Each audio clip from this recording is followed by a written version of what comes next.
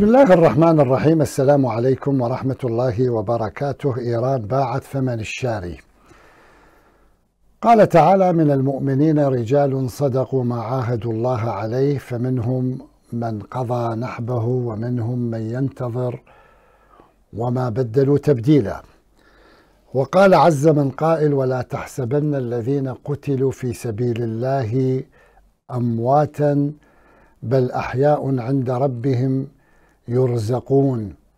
فرحين بما آتاهم الله من فضله ويستبشرون بالذين لم يلحقوا بهم من خلفهم ألا خوف عليهم ولا هم يحزنون. يستبشرون بنعمة من الله وفضل وأن الله لا يضيع أجر المؤمنين الذين استجابوا لله والرسول من بعد ما أصابهم القرح. للذين أحسنوا منهم واتقوا أجر عظيم. الذين قال لهم الناس إن الناس قد جمعوا لكم فاخشوهم فزادهم إيمانا وقالوا حسبنا الله ونعم الوكيل. سلام على شهدائنا الأحياء الذين هم يرزقون عند الله والذين هم أحياء ما دامت هذه الدنيا دنية وتنتقل بهم إلى دار الآخرة. ماذا فعل الكيان الصهيوني وغيره من الذين قاموا باغتيالات طاولت شهداءنا الكبار؟ ماذا فعل أولئك الذين يقومون بعمليات الاغتيال الجبانة غير أنهم تسببوا في نقل شهدائنا وعلى رأسهم بالطبع سيد المقاومة سماحة السيد القائد الشهيد حسن نصر الله من هذه الدنيا إلى الآخرة الأبقى. وللآخرة خير وأبقى. تعرفون أحبائي أن السيد الشهيد القائد السيد حسن نصر الله لو لم يكن يرزق الشهادة لكان هو حزن ولكنا نحن أيضا تألمنا عليه. نحن لا نتمنى لهذا الرجل العظيم إلا أن يحظى بوسام الشهادة العظيم. وهذا وسام عظيم لا يناله إلا من امتحن الله قلبه للإيمان. إلا من أتى الله بقلب سليم لا يناله إلا ذو حظ عظيم. ماذا نتحدث عن الشهيد السيد القائد؟ كله هباء هباء وهباء لأننا لن نوفيه حقه. لذلك أنا لن أتحدث عن شخصية السيد القائد ابدا. فقط أشير إشارة واحدة فقط وهذه الإشارة مهمة. قبل تأسيس حزب الله في العام 1981 عندما جاء السيد حسن نصر الله إلى إيران وكان الإمام الخميني قدس سره الشريف قد استقبله ومنحه وكالة شرعية. منحه وكالة شرعية. في العام 1981 كانت هنالك مشاريع كبيرة طرحت في المنطقة من قبل آه، بعض الدول من ضمنها المملكة العربية السعودية وتحديدا آه، آنذاك فهد بن عبد العزيز آه، وكان قد قدم مشروعا لحل القضية الفلسطينية تحت عنوان الأرض مقابل السلام.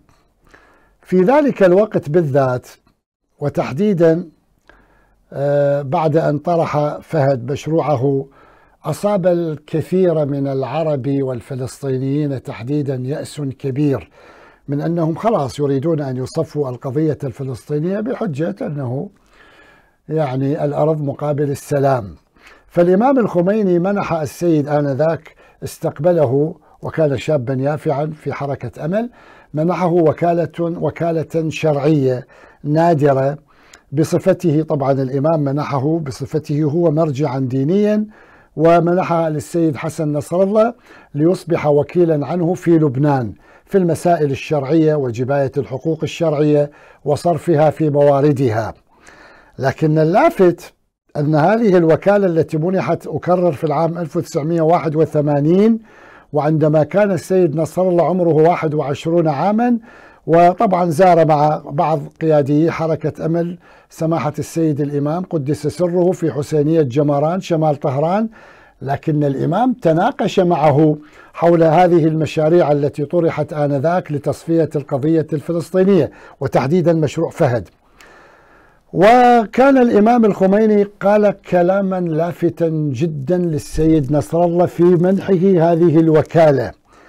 قال له ومن معه؟ قال له أنت ومن معك رفاقك. ستكونون قادرين إذا أردتم على إذلال القوى الكبرى بالنص في لبنان في لبنان. وهذا الموقع بالمناسبة يعني راجعوا موقع جمران آه، في إيران. تجدون هذه الوكالة باللغة الفارسية. ومنشورة يعني بالفارسي سنة الفارسية بالهجري يعني الهجري الشمسي 1360 آه، موافق 1401 هجري قمري. وكان الموضوع هو كما قلنا آه، طبعا جاء فيها يعني ما يتعلق بالوكالة الشرعية وأوصيه أيده الله في النص. وأوصيه أيده الله بما أوصي أوصي به السلف الصالح بما أوصى به السلف الصالح. من ملازمة التقوى والتجنب عن الهوى والتمسك بعروة الاحتياط في أمور الدين والدنيا وأن لا ينساني من صالح دعواته والسلام عليه وعلي وعلى إخواني. السلام عفوا السلام عليه وعلى إخواننا المؤمنين ورحمة الله وبركاته. روح الله الموسوي الخميني. أكرر قال له ووصفه آنذاك بحجة الإسلام الحاج سيد حسن نصر الله. وهو ما كان الخميني الإمام الخميني نادرا ما يعني عندما يصف علماء الدين الكبار يصفهم بحجة الإسلام. هذه طريقته. وذكر له كما قلت لكم بأنه سيكون قادرا مع رفاقه إذا أرادوا آه، قادرين على إذلال القوى الكبرى. هذا ما تنبأ به الإمام الخميني للسيد نصر الله. طيب هذه المقولة السخيفة التي يروجها عملاء الصهيونية. أن إيران باعت نصر الله. من الذي اشترى؟ من الشاري؟ كيف باعت نصر الله؟ طيب باعت نصر الله لأنها تريد أن تصل إلى اتفاق نووي مع الدول الكبرى وتحديدا مع الولايات المتحدة الأمريكية. هل توصلوا إلى اتفاق لكي تبيع السيد نصر الله؟ يعني هل حصل أي أين هي الصفقة التي يتحدثون عنها؟ والله يقولون يريد الرئيس الإيراني مسعود بسكشيان أن يتفاوض هو يريد أن يتفاوض قبل أن تحصل هذه الأمور. يعني عندما رشح للانتخابات الرئاسية كان برنامجه الانتخابي الانفتاح والحوار مع الغرب لحل الملف النووي الإيراني وفق صيغة جديدة. يعني قال بأن هذا الاتفاق النووي استنفذ أغراضه ينتهي في العام 2025 نحن الآن في العام 2024 بعض البنود فقط إلى العام 2030 لكن البنود الرئيسة تنتهي في العام 2025 وهو يريد أن يريد إذا اتفاقا أو نسخة من البرنامج النووي أو من الاتفاق النووي منقحة وجديدة. وهذا الأمر هو برنامج انتخابي مع ملاحظة وأنا قلت ذلك في برنامجنا هنا في خارج الحدود. يا أخوان الرئيس في إيران نعم هو الشخص الثاني وفق الدستور لكنه هو يمثل السلطة التنفيذية. هو واحد من تسعة أشخاص يشكلون أعضاء المجلس الأعلى للأمن القومي الإيراني المعني بالقضايا الاستراتيجية. قرار الحرب والسلم يعني البيع والشراء فيما يتعلق بالحرب كما يزعمون هو بيد الولي الفقيه. وليس بيد الرئيس الإيراني الحرب والسلم. من من والمادة 101 154 من دستور الجمهورية الإسلامية تلزم إيران بدعم حركات التحرر في العالم والمستضعفين في العالم بشرط عدم التدخل في شؤونهم الداخلية. فهذه الكل... هذا الكلام طبعا هذا كله ستجدون له الكثير من الأصداء. روحوا راجعوا ما يفعله عملاء الوحدة 8200 والكثير من الوحدات الاستخبارية التي أسسها الكيان الصهيوني لتشويه سمعة إيران ولتشويه سمعة المقاومة. وهذا كله يجب أن نتصدى له وتتصدون له بقوة لأن إيران كما يقول سماحة السيد حسن نصر الله قدس الله نفسه الزكية هو بنفسه يقول إن إيران أشرف وأوفى من أن تبيع صديقا من أجل مصلحة إيرانية. ابقوا معنا.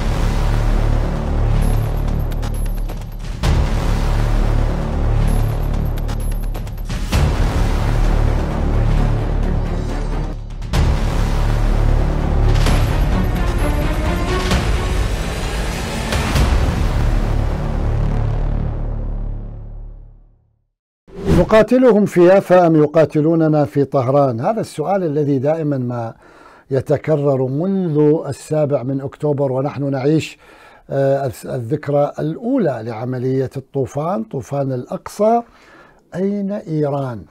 طيب وأين العرب؟ لماذا لا يطرح هذا السؤال؟ لماذا العرب وأجهزتهم القمعية وأجهزتهم الإعلامية والدعائية يركزون دائما على هذا السؤال. أين إيران لكي يحرفوا البوصلة ممن مما هم وقعوا فيه من التخاذل؟ مو بس التخاذل إلى التواطؤ ويوجهونها إلى إيران. أين إيران؟ أحبائي حتى فيما يتعلق بقضية المحور الأول قلنا إيران باعت ثمن الشاري. يعني إيران هل هل يصدق عاقل أن إيران تبيع السيد حسن نصر الله؟ طيب لماذا لم تتدخل إيران عسكريا في لبنان؟ لماذا؟ ولماذا تتدخل؟ وكيف تتدخل إيران في لبنان؟ إيران تدخلت في سوريا لأن بين إيران وسوريا اتفاق عسكري اتفاق تعاون عسكري اتفاق دفاع مشترك بين إيران وسوريا. إيران لا تستطيع أن تتدخل في لبنان وترسل قوات في لبنان. من يجي يتحدث رئيس الجمهورية أو يتحدث الناطق باسم الخارجية ويقول نحن لا نرسل أو أي مسؤول إيراني نحن لا نرسل قوات عسكرية إلى لبنان. يقول آه شفتوا إيران تخلت عن حزب الله. إيران دعمت القضية الفلسطينية لأسباب لها علاقة بمصلحتها لأنهم في أسوأ الحالات أولا يقولون إيران تريد أن تمد نفوذها في المنطقة لكن في أسوأ الحالات والله إيران تريد أن تقاتل في يافا يعني في في فلسطين عن طريق ما يسمونها بأذرعتها أذرع أذرع إيران عفوا لكي لا تقاتل هذا الكيان في داخل إيران في داخل طهران. هذه الذريعة التي يتحججون بها. طيب أنتم لماذا لا تفعلون ذلك؟ يعني لماذا الدول العربية أيضا والله إيران لديها مصلحة عندما تدعم حزب الله وتدعم نصر الله وحتى عندما قامت بعملية الرد الأخيرة التي استهدفت آه، قواعد عسكرية في داخل الكيان الصهيوني استهدفت في آه، استخدمت آه، هذه الصواريخ فرط الصوتية الذي التي ضربت فيها مقر الموساد الذي منه انطلقت الأوامر باغتيال الشهيد إسماعيل هنية وضربت واستهدفت قاعدة عسكرية جوية منها انطلقت الطائرات طائرات الكيان الصهيوني والتي استهدفت سماحة الشهيد القائد السيد حسن. نصر الله يقولون إيه إيران فعلت كل ذلك لكن لديها مصلحة. طيب ماذا قدم العرب للقضية الفلسطينية؟ لماذا أنتم ليست لديكم مصلحة؟ أنتم مصلحتكم أكبر من المصلحة الإيرانية. على الأقل أنتم تحيطون وتقتربون وأنتم مجاورون لهذا الكيان الصهيوني اللقيط الذي يتآمر عليكم منذ تأسيسه بل وحتى قبل تأسيسه وهو يرفع شعار من النيل إلى الفرات. أنتم تعرفون أن هذا الكيان الصهيوني طبعا حتى في وسائل الإعلام العربية الآن بدأت هنالك نبرة تتحدث عن أنه والله الكيان الصهيوني لا ما هذا ما عنده هذه المقولة من النيل إلى الفرات. هذا يتعشعش في العقل العربي. روحوا شوفوا في الكنيسة هذا الشعار موجود. وروحوا شوفوا وأتحدى الآن أمامكم وأطلب من كل أولئك العربان والمتصهينين العرب بل وحتى من أتباع الكيان الصهيوني نفسه أن يأتوا لكم بخارطة فلسطين المحتلة وفق ما يقرره الكيان. يعني خلينا يقولون هذه خارطة بين مزدوجين إسرائيل. لا توجد. رسمية ها. مو الخرائط التي يرسمها العرب وترسمها دول. لا لا لا. الخارطة الرسمية لهذا الكيان لا توجد لأن الكيان يؤمن بسياسة التمدد والقضم التدريجي حتى فيما يتعلق بداخل فلسطين. وأخيرا يريد أن ينتهي إلى دول عربية في المنطقة وهذا ما سأحدثكم عنه في لعنة الثمانين في المحور الثالث. عموما المعادلات العسكرية في المنطقة والمعادلات الدولية هذا الذي يقول لماذا لا تتدخل إيران عسكريا؟ لماذا لا ترد إيران؟ إيران ترد. لكن إيران ترد شلون ترد؟ هسه هذا بالمناسبة عندما تقول هذا الرد جاء لانتقاما لضرب الشهيد أو اغتيال الشهيد حسن نصر الله. هذا من باب التعاطف القلبي والعاطفي والموقف الشعبوي والموقف العقيدي وحب إيران للشهيد السيد القائد حسن نصر الله. وإلا إذا أرادت إيران أن تتدخل عسكريا بشكل مباشر وتذهب إلى لبنان وتقاتل الكيان الصهيوني تحت عنوان ننتقم للشهيد شهيد السيد حسن نصر الله. فعندك احتمالين. الكيان الصهيوني سيدخل مع إيران في حرب مباشرة. هذا واحد. أو الكيان الصهيوني وتقف معه الولايات المتحدة الأمريكية ودول أخرى طبعا تدعم هذا الكيان. ستدخل مع إيران في حرب مباشرة. ماذا ستفعل إيران؟ بالتأكيد إيران لن توفر تلك الدول التي تتعامل مع هذا الكيان الصهيوني والقواعد العسكرية الأمريكية الموجودة في المنطقة وهذا الشعار علي وعلى أعدائي، يعني إيران ستضرب دول في المنطقة لا أريد أن أذكر أسماءها وستضرب القواعد العسكرية في دول في المنطقة. فانتم هاي الدول العربية التي تقول أين إيران إعلامها المسموم الذي يتحدث أين إيران هل هو مستعد لتحمل هذه التكاليف؟ بالتأكيد لا مصافي المياه تحلية المياه مصافي الغاز مصافي النفط وحتى هسه في الغارة الأخيرة التي نفذتها الجمهورية الإسلامية بمئات الصواريخ بحسب ما يقول الإعلام العبري استهدفت محطات للغاز في داخل الكيان الصهيوني في فلسطين المحتلة الاحتمال الثاني هو أن تكون الحرب محدودة بين إيران وهذا الكيان. طيب خو هذه الحرب لا لا يمكن أن تستمر إلى ما لا نهاية. إذا استمرت إلى ما لا نهاية يعني تتدحرج إلى حرب إقليمية شاملة تأكل الأخضر واللابس اليابس. فهم شو يريدون؟ يريدون يحصروها في هذا الموضوع. يعني في موضوع بين الكيان وبين إيران. بعدين يجي مجلس الأمن الدولي ويطلع قرارات وتتدخل دول ووساطات. والله وهنالك وقف لإطلاق النار وهدنة بين إيران وهذا الكيان. يعني أوتوماتيكلي ستعترف إيران بشكل أو بآخر بهذا الكيان. إيران لا تريد أن تفعل ذلك. أوتوماتيكلي ستكون إيران مسؤولة عما يقوم به حزب الله في لبنان. يعني حزب الله هو تابع لإيران. وهذا يعني باكر حزب الله المقاومة في لبنان وفي كل مكان. سيسقط بيدها بحو الفعل المقاوم لأنه كل ما تفعل شيء يقولوا للإيرانيين مجلس الأمن الدولي يقولوا لهم يا اضبطوا هؤلاء لأنه أنتم الطرف الذي نتفاوض معه. لا لا لا.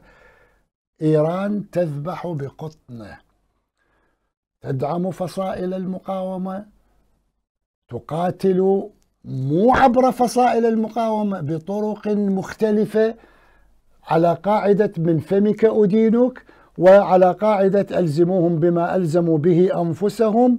وإيران لا تبيع حلفائها وتدعم وتعرف كيف تشتغل وفق هذه القواعد الدولية الموجودة. إذا تريدون أن يجري القتال خارج هذه القواعد الدولية الموجودة أهلا وسهلا. ذاك الوقت راح تشوفون أين إيران.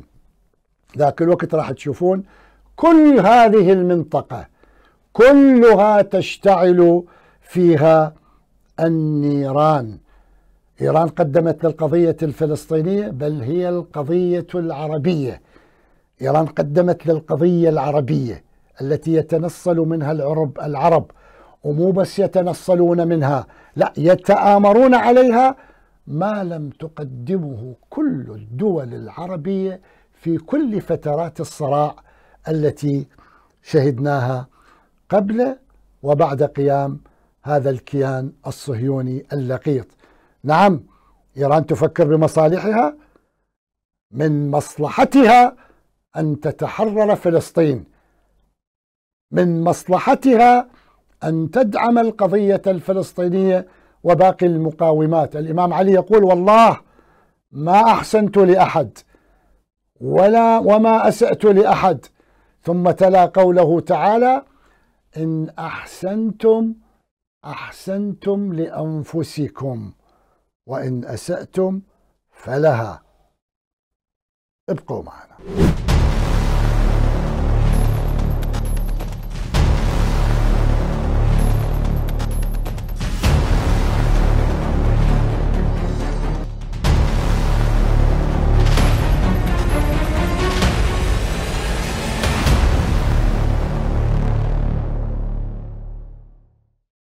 لعنة الثمانين تلاحقهم حتى الزوال.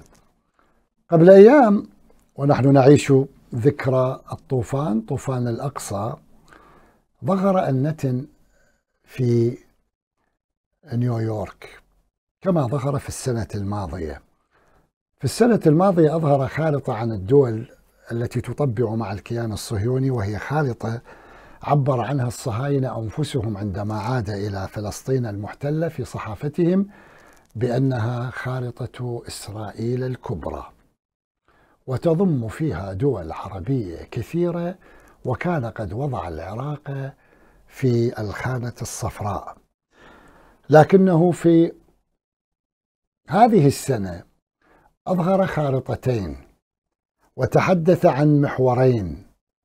محور البركة وليس محور الخير الذي يترجم في إعلامنا العربي المنحاز لهذا الكيان ومحور اللعنة وليس محور الشر كما أيضا يروج لأن الموضوع مهم جدا. محور اللعنة ليش أقول أنا؟ يعني هم يقولون مثلا إيران تعمل من أجل مصلحتها عندما تدعم القضية الفلسطينية. نعم أنتم أيضا اعملوا من أجل مصلحتكم وادعموا القضية الفلسطينية. لأنكم وخصوصا نحن في العراق وخصوصا نحن في العراق أكرر. وضعنا هذا الكيان اللقيط في خانة محور اللعنة. يقول هذه الدول تريد أن تقضي على كيان بين قوسين إسراطيل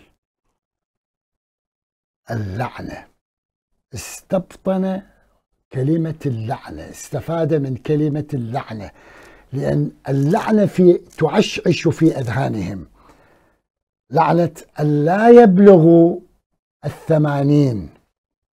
أنت تعرف أخي العزيز أو أختي وأختي العزيزة الكيا يعني هؤلاء الصهاينة يؤمنون بمملكتين لليهود. مملكة داود وسليمان لم تبلغ السبع لم تكمل السبعة وسبعين. ومملكة باركو خبة آه اللي هي أيضا في بعد يعني في السنة 140 ميلادي أيضا لم تبلغ هذا العمر يعني لم لم تصل إلى الثمانين. فالآن يريد أن يفعل هذا الكيان كل ما في وسعه خصوصا هذا العام حتى يتجاوز عتبة السابعة والسبعين.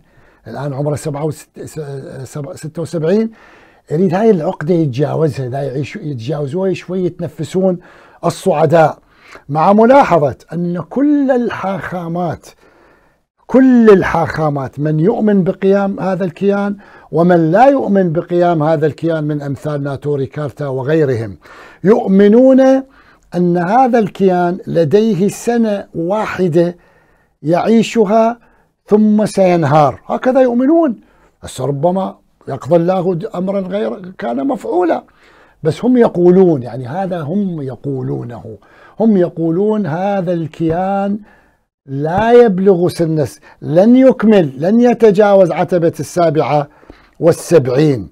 لهذا يأتي في نيويورك ويتحدث عن محور اللعنة ويضع العراق واليمن وطبعا إيران وسوريا ولبنان. في محور اللعنة. فيقول سنلاحقهم كما أمرتنا التوراة تزييف للحقائق. يقول سأنفذ نبوءات أشعياء. وأنا أروح أقرأ نبوءات أشعياء. أنا مرة مرتين حكيت عنها في هذه في هذا البرنامج في خارج الحدود عن الجرائم حجم الجرائم الكبرى التي يرتكبونها للمدنيين والأطفال والنساء والحوامل ابقروا بطونهم في بابل في العراق يعني. فعموما هو يريد أن يقول قالها علنا بعد أن نفرغ من حماس من غزة نذهب إلى وين؟ نذهب إلى لبنان. بالمناسبة ذكرنا غزة ونحن في الذكرى الأولى لطوفان الأقصى. أيضا نذكر أنه هو هذا النتن عندما ذهب السنة الماضية إلى نيويورك قبل طوفان الأقصى. يعني طوفان الأقصى حصل أم لم يحصل؟ هو تحدث عن مشروع إسرائيل الكبرى وجاءت صحف في داخل هذا الكيان بالعبري وتحدثنا عنها. بس نذكر أن الذكرى تنفع المؤمنين. جاءت صحف منها مجلة ميكوميت الثقافية نشرت خارطة خارطة طريق ونشرت وثيقة رسمية تابعة لوزارة الاستخبارات. للكيان الصهيوني تتحدث عن مشروع تهجير الفلسطينيين من غزة وتدميرهم من غزة. صار الطوفان أو ما صار؟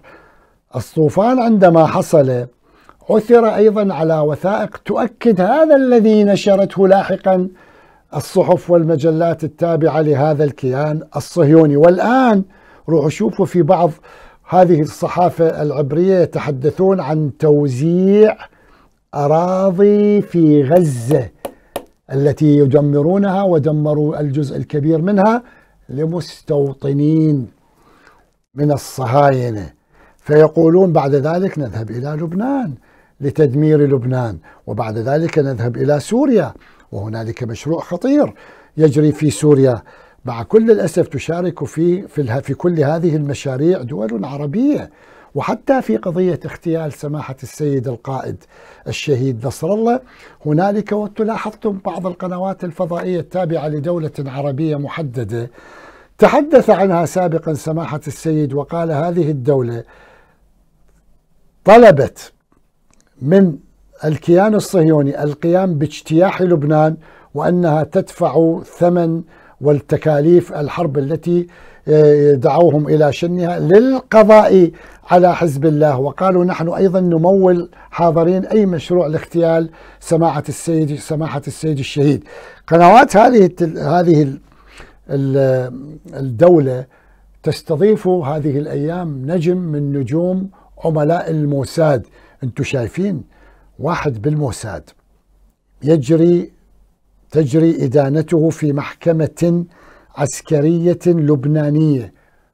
لبناني شيعي أو يدعي الانتساب للتشيع. ويدان بالحكم خمس سنوات وتمنحه هذه الدولة جنسيتها. هذه دولة طائفية نقيتة قتلت من الشيعة آلاف الآلاف مئات الآلاف. يكفي في العراق. المملكة العربية السعودية أقولها بكل صراحة يكفي في العراق. في العراق أرسلت آلاف الانتحاريين باعترافها باعتراف وزارة الداخلية في المملكة باعتراف رئيس الوزراء الأسبق حيدر العبادي باعترافهم يقولون على الأقل خمسة آلاف سعودي انتحاري نفذوا عمليات انتحارية في العراق. الآن موجودين أكثر من سبعة آلاف ومئتين ربما أكثر سعودي يمتلكون الجنسية السعودية وبعضهم ضباط مدانون ومحكوم عليهم بالإعدام بتهم الإرهاب ومسجونون في سجن الحوت. تتذكر سجن الحوت التظاهرات والشغلات اللي صارت حوله. عموما أقول هؤلاء أيضا يطلع هذا النجم وينشر إحداثيات وتفاصيل يعني معطى معلومات يعطى معلومات يسوقوا له على أنه هذا شيعي ضد الشيعة وهو شيعي ضد حزب الله ويعطوه معلومات فلان سيد حسن اكتب وصيتك فلان في سوريا اكتب وصيتك القائد الفلاني اكتب وصيتك. وبعدين يتم اغتياله. يتم اغتياله يعني معناه أكو تواطؤ أكو تنسيق. عندهم خارطة عندهم الأماكن التي عثروا على نعم هذا خرق أمني. نحن نعترف ما حصل خرق أمني لكني أبشركم أبشركم أحبائي بأن قيادة حزب الله تمكنت بفضل الله تعالى من إعادة القيادة ومنظومه القيادة والسيطرة إلى وضعها الطبيعي. وتعافت هذه المنظومة بسرعة كبيرة لأن هذه المنظومة هي التي سببت اخفاقا وفشلا ذريعا للكيان اللقيط في حرب تموز عام 2006 وبفضل الله تعالى استطاعت هذه المقاومة الشريفة في لبنان كما فعلت في العام 2006 من ترميم منظومة القيادة والاتصالات وستنبئك الأيام المقبلة بكيف يمكن أن يرد يرد حزب الله نفسه على هذه الجريمة وترد باقي فصائل المقاومة في المنطقة على جريمة التواطؤ العربي. وتذكروا هذه الجملة أن اليمن هو دائما ضابط الإيقاع. تذكروها دائما والنصر قريب.